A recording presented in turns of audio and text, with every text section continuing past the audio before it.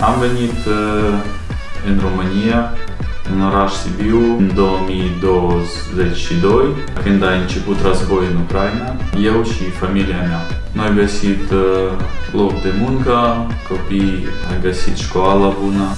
Eu și soția mea, noi avem doi copii, uh, o fată și băiat.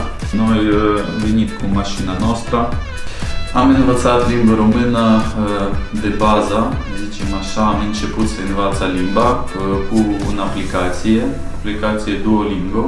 Copiii învață, învață mai repede. Copiii au început în 2023, învață un pic mai târziu, pentru că 2022 ai fost în școala ucraineană, a început 2023 școala română. Asta este lucrul nostru, renovare, inclus lucrările cu zugrăvie, faianța și gresie. Haideți să intrați și în camera. În Ucraina el a avut uh, o firmă foarte mare, făceau finisaje la um, niște moluri mari. Avea o echipă de peste 20 de oameni și, din păcate, datorită războiului a fost nevoit să fugă împreună cu familia și să înceapă de la zero aici.